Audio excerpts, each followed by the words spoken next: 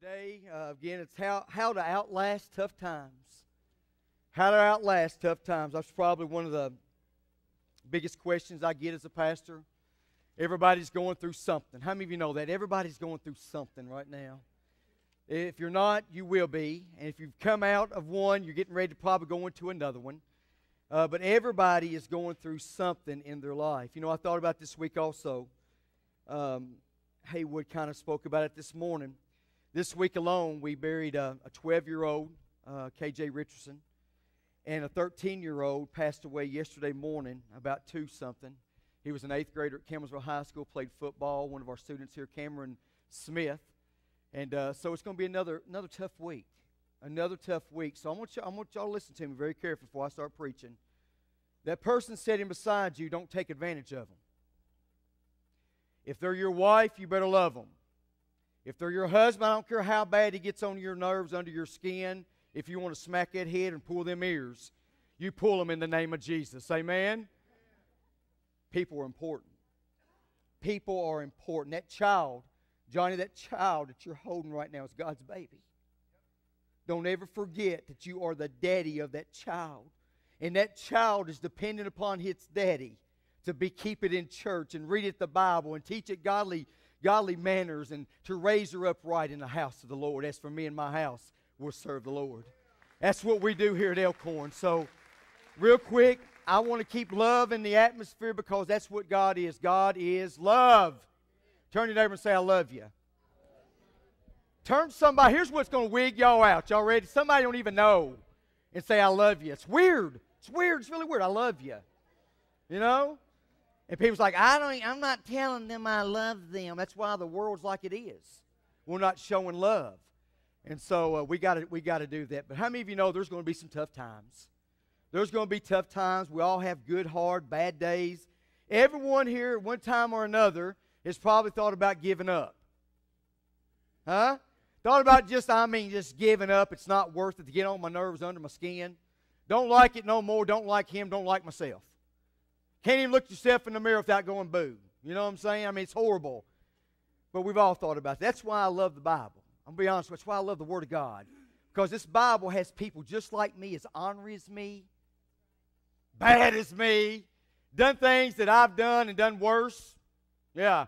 But I love the Bible because you know what the Bible does? The Bible is a reminder to me how far that God has brought me, to how good He's been to me where He's brought me out of the valley of depression and anxiety and worry and stress. And when people rose up against me, my God never let go of me.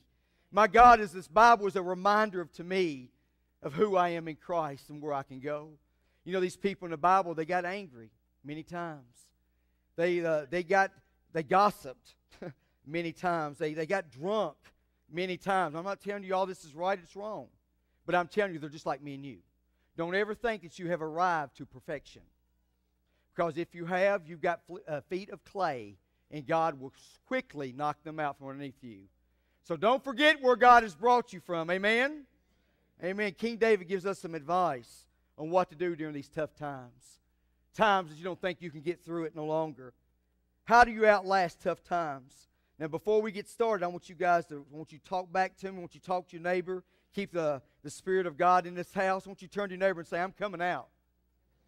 Come on now. Now I want you tell him this I am an overcomer.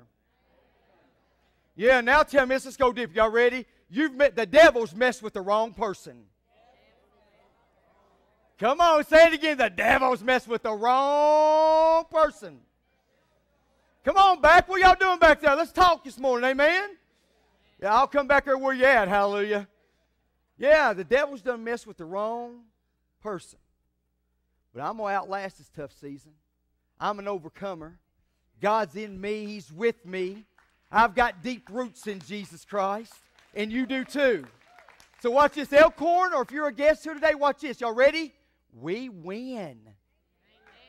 Isn't that good stuff? We're going to win this battle. I'm so excited this morning to preach this word. I'm, I'm just tore up from the floor up, as Brother Hergen used to say. Psalms chapter 1, verses 1 through 6 is what we'll be reading. Got one point today, I think. We'll find out real quick. The book of Psalms, chapter 1, verses 1 through 6. If you're there, say amen. Hallelujah. It says in verse 1, Psalms chapter 1, blessed, everybody say blessed. Yeah, watch what he says. Is the man that walketh not, not, walketh not in the counsel of the ungodly, nor standeth in the way of sinners, nor sitteth in the seat of the scornful. In other words, God says, if you want to be blessed, get away from the gossipy people. Oops. Get away from the people who's always stirring up trouble. Get away from the family member who's always adding fuel to the fire. You say, Brian, that's mean. Take it up with God.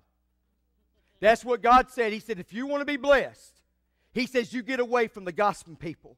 You get away from the people who's always starting to cause problems in the church. Watch this. You ain't going to hang around at Elkhorn too long because we don't believe in that stuff. We nip it in the bud while it's fresh and get it out of the church while it's fresh. We don't, we don't sit back and let it keep firing and brewing up. So listen, if you're a troublemaker, you ain't going to fit in well here.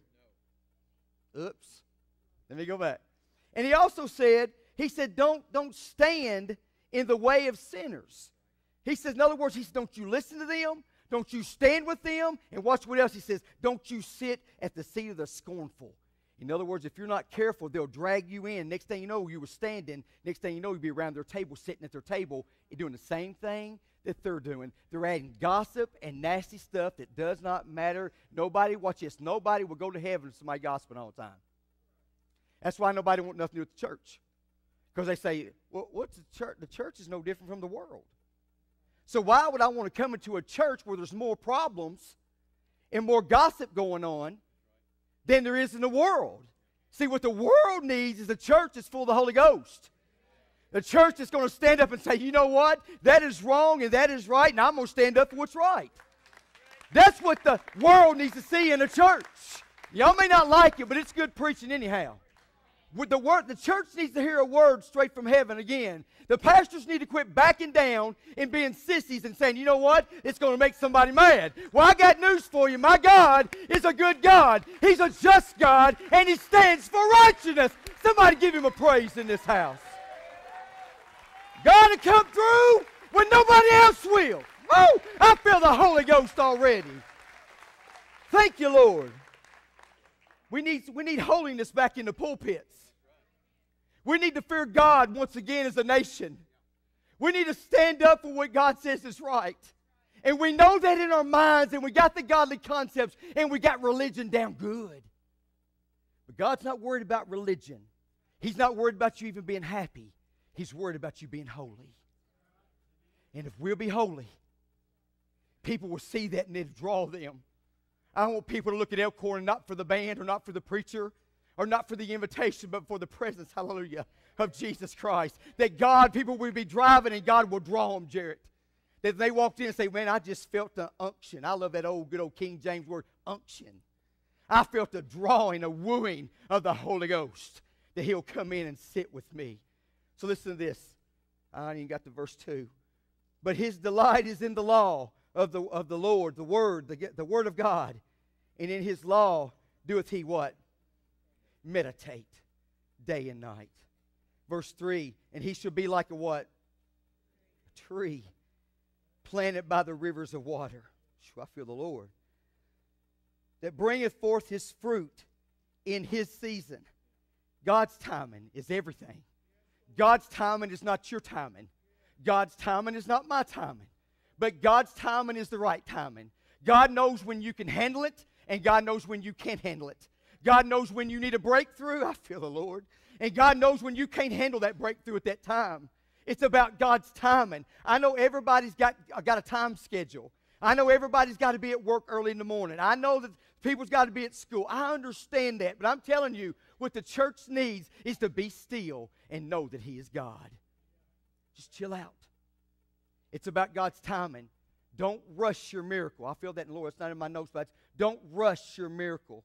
Don't rush your miracle. He said this right here. Be like a tree and its bring forth its fruit in its season. His or her leaves shall also not wither. And whatsoever, I did not write this, and if you've got a problem with it, go to the Bible, talk to Jesus, and y'all can settle it.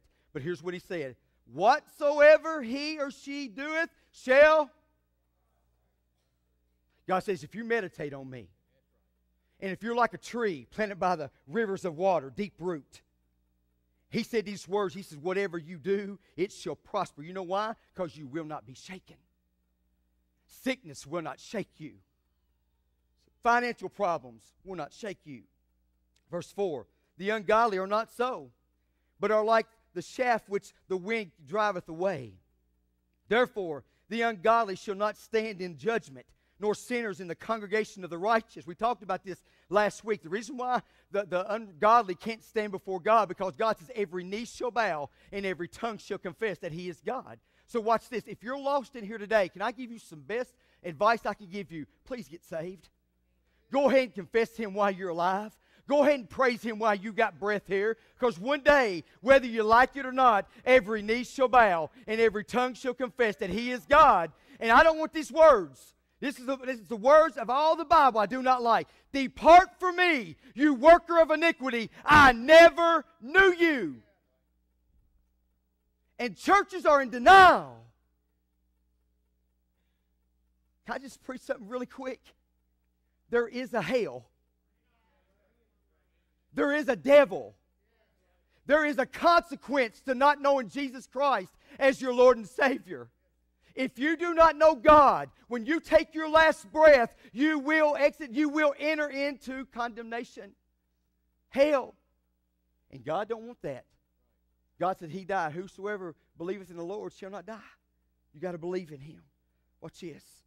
He says you, can't stand in judgment or you can't stand in the congregation. You know why? Because when the, when the rhema word from heaven's going forward, if you're a sinner and you've got sin in your life, all of a sudden you feel conviction on you. And all of a sudden you can't sit very comfortably in a Holy Ghost Spirit service. You know why? Because that Spirit starts welling up in you. Next thing you know, you say, Man, I can't, the heat's on. And you start backing out, and a lot of people will walk out. I've seen it done before. I've seen it done before. And oh, by the way, if you reject God and it's the last time, it's called blasphemy against the Holy Ghost. This is, this is biblical word too, and I'll preach this one time. You've got 24 hours. And if you don't make it right in 24 hours, you're a dead man. Oops. Now I got y'all's attention, didn't I? It's in the Word of God. I'll preach it one time. Hallelujah. For the Lord knoweth, verse 6, the way of the righteous, but the way of the ungodly shall what? Watch this. Sin has its final day. When I read that, it just spoke up in my spirit. Says, Brian, you know what? People who think they're getting away with stuff, they're not getting away with anything. They're not getting away with anything. Sin has its final death day. Sin will sin one day will bow down before God and God say, I told you so. Hallelujah. I told you so. So how do you outlast tough times? Really quick, last week I told you meditate day and what? Night. In the Hebrew, that means self-talk. Everybody say self-talk. And so, in other words, if you're having some tough times and the devil is after you, you have to tell yourself what the Word of God says about you. Not what your best friend says about you, but what the Word of God says about you. What's the Word of God say about you right now? Huh? Greater is He that is in me than He is in the world. What else? What does God say about you this morning? See, if you're like this, I promise you, if I was the devil, you'd be my first target. Because Christians don't realize who they are and whose they are. When you realize who you are in Jesus and whom you belong to, I'm telling you, that'll make the devil tuck his tail and go straight back to hell. Somebody help me praise him in here. When you know who you are and whose you are, it makes all the difference in the world when the old devil comes at me and says, Brian, you're nothing. You're nothing. Your best days was a long time ago. Your anointing was a long time ago. You're nothing. You can't do this. I'll just look at Joker in his eyes and say, that ain't what God said. That's not what God said about me. That's not what God said about you. That's not what God said about your marriage, man of God. That's not what God said. See, Christians have got to learn to stand up until the devil shuts up. We cannot let the devil outshout us no more. Amen? I hope y'all believe this word. Makes listen to me. I believe there's a lot of emotional stuff that goes on in churches. We clap and we hoorah, but Monday comes and we don't know what to do. So my job is to equip you now that when Monday comes and hell is in the hallway and your boss is down your throat and your marriage is on rocks, that I can sit there and you can sit there and go, you know what? What God puts together, no man can separate. That God said, I'll never forsake you. I'm with you. No matter what you say about me, hallelujah, I am God's child. I'm a child of the one true King. Do y'all believe this? Because watch it, it is so easy to be a con Christian. It is so easy to walk into church and say, Man, I'm here, but you walk out the same way you walked in. It is so easy a lot of times to give in to the devil and his schemes and his lies. He's a liar. So you have to self talk yourself. Remind yourself. When the devil starts talking, watch this. I start talking. When the devil starts telling me I'm nothing, I rise up and say I'm something. And y'all get, you got to get this, guys. Because I'm telling you, listen, I get a lot of phone calls throughout the week. And every time, what I do to every one of you, I always point you back to the Bible, back to the Word of God. Y'all ready for this? Number, point number two. Point number one was meditate day and night. You got to what? Self talk. You got to self talk. I don't know why the Lord just spoke this into my heart, but I remember Courtney and Mitchell that Sunday morning that we was out here and the doctors, y'all went through all that stuff, and everybody else saying they ain't gonna have no babies, blah blah blah, and then y'all was in the process of adopting. That morning, the Spirit of God dropped in this house, big time, thick. And I remember the Lord spoke into my spirit and said, "You tell Courtney her call's coming." And that day, at two o'clock, if I'm not mistaken, her phone rang, and it was them to go get their baby. And today, that baby's here at church. Don't tell me that God don't love you. Don't tell me that God don't have big plans for you. Don't tell me that if God be for you, who can be against you? I'm telling you, my God, the latter rain is going to be better than the former rain. The outpouring of God is going to be stronger than ever before. But you got to want it. How many y'all want an outpouring of the Holy Ghost? How many y'all want to be touched by God like never before? Hey, I feel the Lord. Ah, give me more. That's what I want. I want more of God. I'm telling you, there's something happening. And people will call you crazy. They'll look at you and say, Brian, you're crazy. I'm the point I like craziness. I'm the point I, they call this being radical. I call it being normal. You, my mom, I, never mind. The Lord will shut you up too. Hallelujah. He will, won't he, Tommy? You getting ready to say something, the Lord goes, shut up. You say he don't talk like that. Read Matthew chapter 5. Yes, he do. That's Kentucky language. Hallelujah. Point number two, be like a tree planted by the rivers of water. Boy, this is a deep word. I want to give it to you today real quick. Be like a tree planted. Everybody say planet by the rivers of water. Watch this. Notice trees go through all kinds of seasons. They, they go through they go through spring and summer, fall and winter. Spring and summer is when the, the leaves are big and they're beautiful and the trees look strong and mighty. They have leaves and it's all big and beautiful. But when winter comes, the leaves go. And sometimes branches come off missing. They miss, they fall off the tree. But I have some good news for you. Wintertime doesn't kill the tree. I want you to listen to me. Winter doesn't kill the tree. Coldness don't kill the tree. Wintertime kills the bugs that want to kill the tree. Listen to me. The bugs are the tree's enemy. God says you're like a tree, hallelujah, that's planted by the rivers of water. And the enemy, a lot of times, comes to you and he tries to steal, kill, and destroy. He tries to kill the tree during the cold times of your life. He tries to come at you when, when you're down to nothing and you don't feel like nothing's going on in your life. The enemy will come at you and try to take away your life. He still kills and destroys, but winter kills the bugs, but it don't kill the tree. Somebody needs that word today. Listen to me. Cold weather preserves the tree. Cold weather preserves the tree.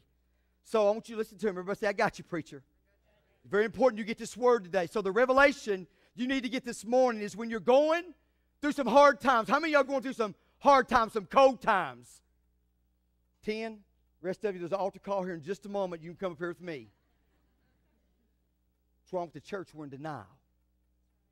We come to church and we know God, we know the word's going forward, we feel the Holy Spirit, and then all of a sudden we say, Who's going through a tough time, a hard time, a cold season? Preacher, that's me, but don't look at me. Preacher, that's me, but I don't nobody going through, I know I'm going through a hard time. I got over that a long time ago. I really did because here's what I know. The Bible says, where two or three come together touching and agreeing, I will be in the midst.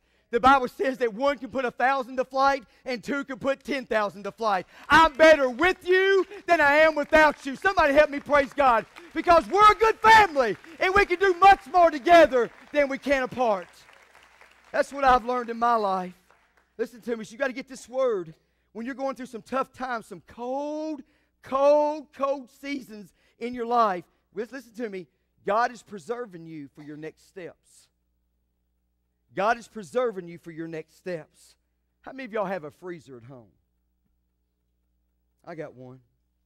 You know what you do with the freezer, don't you? I wrote this down. You place things in the freezer that you want, but you just don't want them right now. Listen to me, good word.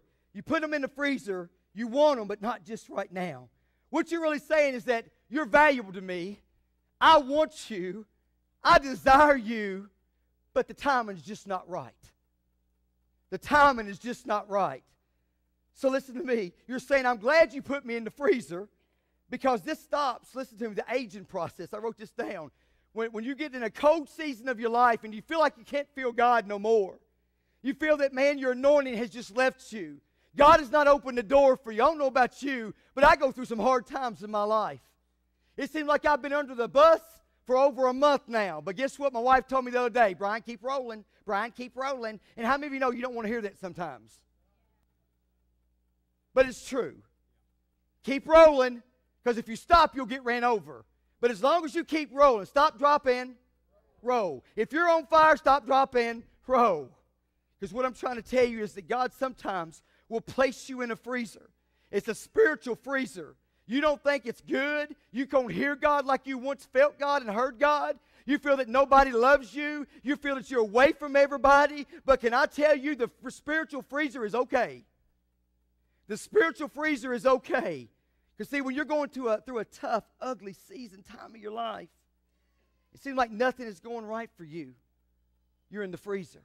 How many of y'all feel like you're in the freezer? Yeah. What God is saying is, I want you, and I'm going to use you, but not right now. Not right now, Scott. Scott, He loves you.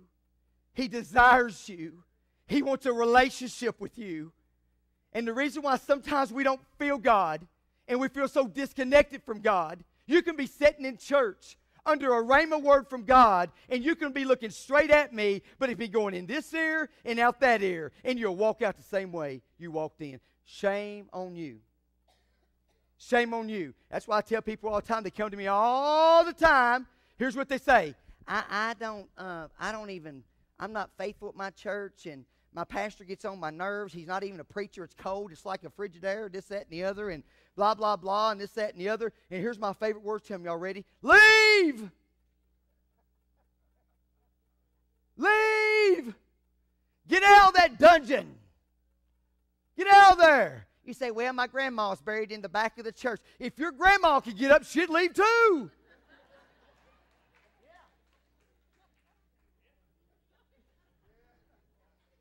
I'm telling you the truth. Because you've got to get where God's at. You've got to get where the fire of God is ringing and rolling in your heart. You've got to feel the presence of God down in your spirit once again. You got to know when you left church that you've been in church. Now, I ain't compromising on that no more. Well, you're going to hurt people's feelings. Leave! I'm just telling you the truth. People say, I want the truth till they get the truth, and when they get the truth, they leave. Listen, I've been in ministry long enough to know if you've got a good relationship, working relationship with God, you won't be offended by His Word. You may get your toes stepped on. But I, am at a church now. When I walk down the aisle, they are just putting the toes out like that. Go ahead, preacher, get there's five, and here's five more. They like it. They like it. Listen to me. Some of you are in a cold season in your life. You don't feel God like you once did. You know why? Number one, you may not you may not have a good working relationship with him. Oh, you may know him, but you don't have a relationship. Satan knows him. Satan knows Scripture. Satan shows up for church. Satan, Satan comes to vacation Bible school. Satan is everywhere too. But watch this one thing he will not do is worship God. Let me go on. Some of y'all feel like you're in the freezer. Some of you don't feel God no more. Some of you can hear God, but you don't feel God no more. You feel like you're going through a tough, ugly, barren, fruitless season, and nothing seems to be going your way. But can I tell you something really good today? There's going to come a time when God's going to thaw you out. There comes a time in your life, in your ministry, in your walk with God. You've been in a cold season, a damp season. You don't feel God like you once did. And God's got you in a spiritual refrigerator. The bugs can't get to you there. Hallelujah. And when God's ready for you, He's the only one that can reach down and grab you and place you on a counter. God's going to thaw you out. But listen to me. Some of you right now, you're in that season. You can, and you may not be cold, but you're thawing out. Oh, you feel a little something like you never felt before. You feel the Holy Spirit just nudging at you. Now I hear people say this all the time. Say, Brian, all you talk about is the Holy Spirit.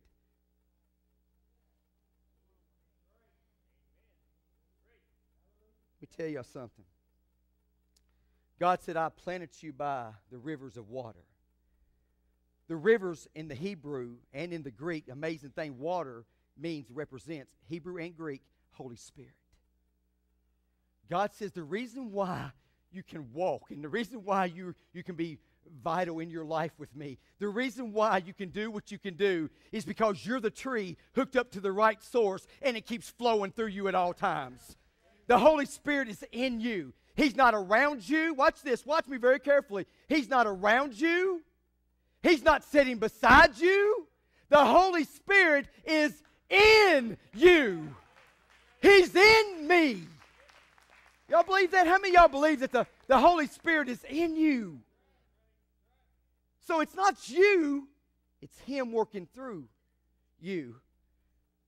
And the reason why people don't like talking about the Holy Spirit is because they think something's going to happen out of their control. It will. It will. If y'all have got church figured out, man, you're God. You're God. I'm talking about a church service that you may feel like you're in the freezer. But God got you out of the spiritual freezer and put you on a counter. And even though you see Him walking by every once in a while and you feel Him, there's a thawing out stage. And you know what happens after thawed out? You're going to be cooked out. Hallelujah. You're going to be put on the stove and cooked. And I pray that the Holy Ghost cooks you in the name of Jesus Christ. Some of y'all look at me like, oh God, what's it feel like? What's he going to do? Is he going to hurt me? Is he going to say? Why are people afraid? Why are you afraid of the Holy Spirit? He won't hurt you. He'll make you walk on water. Hallelujah. Even when you're in the lion's den, he'll superglue the lion's mouth shut. I'm talking about when people are at you, something will rise up in you called the Holy Spirit, and it don't matter if the whole world has come against you. If God's for you, He'll put a word in you, and He'll stand you up and make you look up and shout up, pray up until you're going up. Amen? That's my God. Hallelujah. That's what God to do. And see, if, listen to me, the Holy Spirit is planted in me, it's deep in me, and you can't move Jesus. That's why I tell people, yes, I believe in eternal security, because watch this. You're not moving. If you if you lose it, you've done a greater work than Jesus did on the cross. Means if your sin can nail him back to that cross, your sin done a greater work than what grace did on that cross. There's no way possible that sin can ever put my God back on that cross when He paid for it, and He paid for it all. And I am proof, and you are proof that grace is alive, and grace is real, and grace will go on forevermore. Somebody praise Him. Hallelujah. See, if you're planted by the right soil, by the, by the right river, and in the right spirit, hallelujah, you can say, I shall not be moved. If I'm by the right in the right soul, by the right river, with the right spirit, man, I'm telling you, that's a deep river. You see, I'm planted in Jesus. Hallelujah. I'm planted in Jesus. This church is planted in Jesus. My babies, my children, they're not mine no more. They belong to God. They are planted in Jesus. Even where this church is planted in Jesus. My wife is planted in Jesus. The songs are planted in Jesus. Everything is planted in whom? Come on, I don't know if y'all, come on, guys. Please come on. And you say, Brian, I, I don't like talking in church. Boy, you do over ball games, though, don't you? And see, I just think the party's at church, not on the field. I think the party should be right here with the atmosphere of God going around. Here's what God dropped in my spirit this week, Brandon. You, you, you listen, listen, listen this. You ready?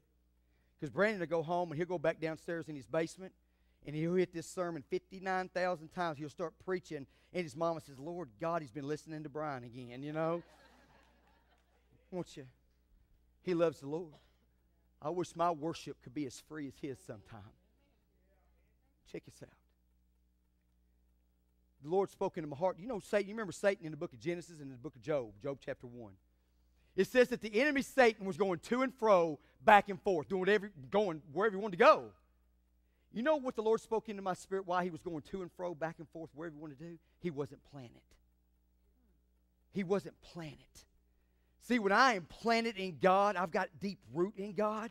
And no matter if the storms shall come and the winds shall blow and my foundation is shaken, I'm still formed and I'm still planted in Jesus Christ. Nothing, I shall not be moved. Come on, I shall not be moved. One more time. I shall not be moved. Why? Because I am planted in the Word of God. I shall not, I will not be moved because I'm in Jesus.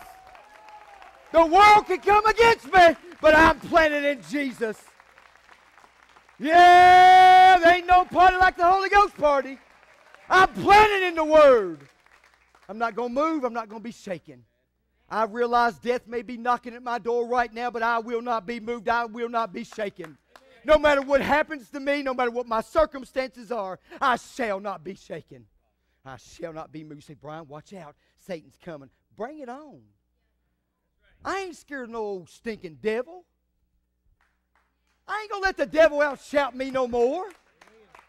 I've got something in me that's a whole lot bigger than the devil. The last time I read my Bible, hey, death, hell, and the grave has been defeated, and God is the winner. He's in me, He's in you, and He's my God. He's my God. So here's what you got to do. The reason why some of you, watch me, I'm going to teach you really quick. The reason why some of you are going to and fro, back and forth, is because you're not planning. it. You're not planning it. I'm going to help you. Y'all ready? Here's the best counseling ever Jesus. Here's the best counseling ever for y'all's marriage Jesus. That's all you're going to get from this preacher. Well, I'm ready, I'm ready for some big theological, eschatological debates. Go to seminary. I've been there. It's boring. I graduated barely, but I got it. My brother told me, he said, the thing about graduating seminary, he's a doctor, a radiation oncologist. He's a medical doctor, and I'm a doctor of theology. It's crazy. John says what works physically, and I tell you what works spiritually. But my brother calls me all the time and says, What do you think about this? Jesus. Jesus. Youth, Jesus. You say, Brian, that's so simple. Why don't we try it? The church problems. Y'all ready for this? People, flesh, get out of the way and let God take your seat. And I promise you, you'll have some church. You'll have some church. You just got to die to it. The reason why Satan was going back and forth, to and fro, and the reason why a lot of people, a lot of Christians are going to and fro, back and forth, this church, that church, this church, that church, that way, whatever, is because they're not planted. Oh, man, I done messed somebody up. I'm glad all y'all are here, but watch this. Are you planted? planet. Planet.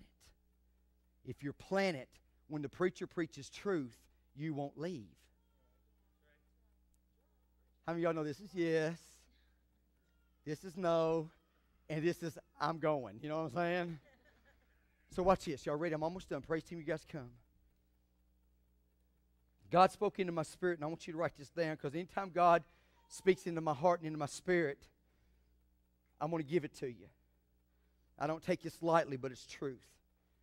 It is important that you get planted deep in Jesus. Write that down. It is important that you get planted deep in Jesus. Deep in Jesus. That when the storms come, get a bad doctor's report, whatever it may be, you got to do two things. Y'all ready? Meditate day and night. Everybody say meditate day and night. Meditate means this in the Hebrew self talk. In other words, watch me. I'm going to teach you really, really quick. I'm going to try to anyway. I am a spirit. I have a soul, but I live in a body. Now, listen to me. Very carefully, y'all get this. Dang, this is a good teaching. When you get a bad doctor's report, or if you get something in your marriage, or something going on, whatever it may be, relationship, whatever it may be, financial problems, whatever, you fill in the blank. Here's what's going to happen. The first place it's going to go is to your flesh. Your flesh. The second place it's going to go is to your soul. Now, I'm going to say something, but this is true. The only thing that is saved on you is your spirit. Watch me. Deep, deep, deep word. Your spirit is saved. That's your God conscience. Your soul is your mind, your will, and your emotions. Now, I just got to ask you how many of y'all's minds are completely 100%? Everything's going good. You don't ever have a bad thought. It's saved, it's been redeemed, and everything's going good. That's why you're, listen to me, your soul is your mind, will, and your emotions. And no matter what you're going through, it goes to your flesh first and to your soul second. After your soul, you got you got to make a decision. It's going to get in your mind, your mind, will, and your emotions. And if you're not careful, once it gets in your mind, you're going to be like a basket case. Oh God, a bad doctor's report. Oh God, this, that, and the other. And you're going to be going crazy. You're going to be an emotional person if you don't watch out where your third step's going to be. Your third step is your spirit. Your flesh, your soul, and your spirit. The only thing that is saved on you right now and in you is your spirit. It's your God conscience, is your spirit. Just making sense? Y'all hang with me five more minutes, I'm done. So when we get a bad doctor's report, relationship, financial report, bankruptcy, foreclosure, children gone wild. Oh, hallelujah. All of a sudden, it goes to the second step. It goes to your soul, your mind, your will, and your emotions. At that point, you got to make a decision. Am I going to believe my flesh or am I going to believe my spirit? My spirit is the only one that will say, that is not what God says. My spirit will rise up in me and say, No, no, no, no, no. That's not what God said. God says, If I, I am the bread and I've never seen the, the lost forsaken or seed begging for bread, my spirit will override my flesh. But also, what here's dangerous already your flesh will override your spirit if you're not careful. That's why we got Prozac. That's why we got antidepressants. Hey, guys, I'm shooting you straight. Can y'all handle truth out here? I'm shooting you straight. You say, well, Brian, should I get off my medication? Listen, I believe medication can be good for a season. A season. But I'm not sitting and telling you that you're going to be on Prozac all of your life. You're going to start meditating, self what? Talk. Self talk. I'm coming out of this. God, I know my mind is a wreck right now, Lord. It's going to and fro, northeast, south, and west, God. But Lord, I know you didn't make me like this. I know you put the blood of God on my head. And Lord, if you're for me, who can be against me, God? And I, if I, if I ain't coming out today, I'll come out tomorrow. If I'm not coming out tomorrow, I'll come out next week. But I'm coming out. I'm an overcomer. Hallelujah. How many y'all believe y'all an overcomer? How many y'all believe y'all coming out? Y'all getting stronger and stronger and stronger. Come on, stand to your feet and praise God. Come on, don't stop. Praise Him. Come on, praise Him.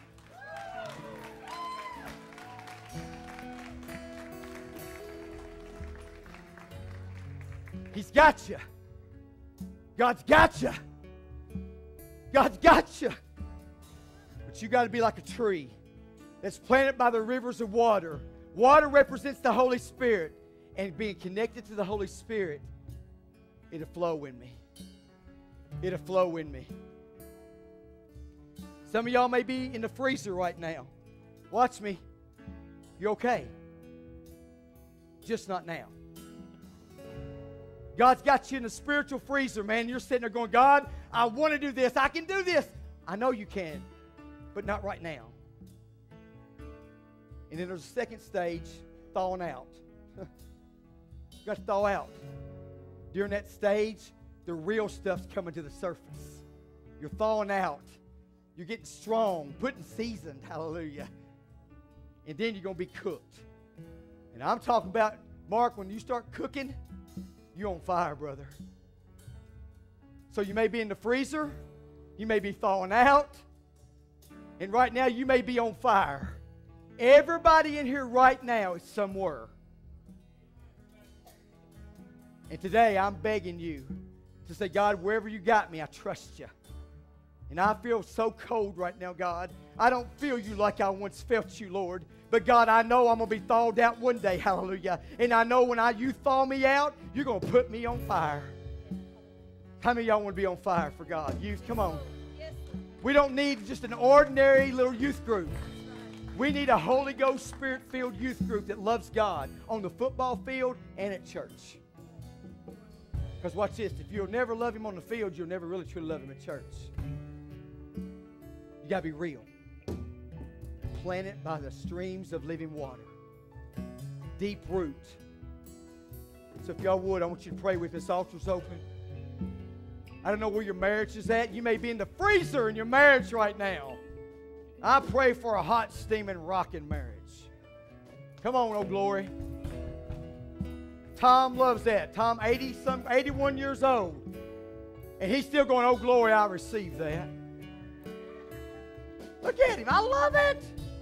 I don't know where you're at today. You may be in the freezer and you feel like I'm so cold, Brian. I don't feel God like I once did. Watch this. Y'all ready? It's okay. Because you're going to thaw out one day. And when God's ready to use you, y'all ready? Whenever God's ready to use you, whenever God's ready to use you, whenever God's ready to use you, He'll get you out and start thawing you out.